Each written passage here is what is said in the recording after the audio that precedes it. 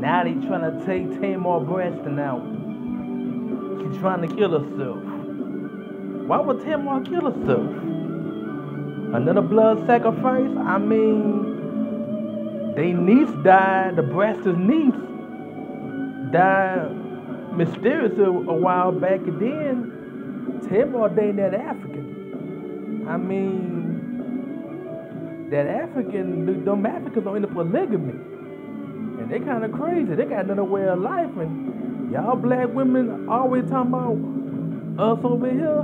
Better not than have another woman when you tell them Africans about having other wives and, and, girlfriends. Anyway, why would Tamar commit suicide? What, what? Is it her time? I mean, she's doing a lot of weird stuff lately. She go around talking about some, she a slave and the only way out is death.